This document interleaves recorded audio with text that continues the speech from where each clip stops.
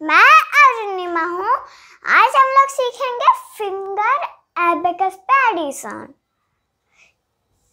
ये हमारा left right hand है, जो रिप्रेजेंट करता है वंस प्लस और ये हमारा लेफ़्ट हैंड है, जो रिप्रेजेंट करता है टेंस प्लस और ये जो सारे फिंगर्स हैं, ये रिप्रेजेंट करते हैं वन ये वन ये वन ये वन ये वन और ये जो हमारा थंब है, ये फाइव और इस एंड में ये सारे फिंगर्स टेन रिप्रेजेंट करते हैं। टेन टेन टेन टेन और ये थम फिफ्टी सिक्सटी सेवेंटी एटी ये थम रिप्रेजेंट करता है fifty sixty seventy eighty ninety ninety one ninety two ninety three ninety four ninety five इस तरीके से। तो चलिए शुरू करते हैं। Word problems has six pens. Drisha gave her three more.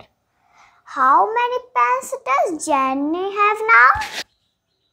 Six pens plus three pens. Six pens plus three pens. Nine pens.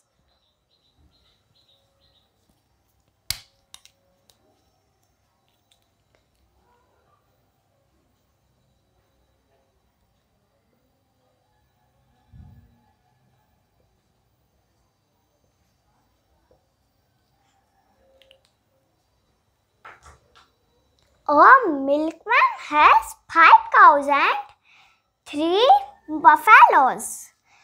How many cattle has he in all? Five cows plus three buffaloes plus three buffaloes is equal to eight. Eight cattles.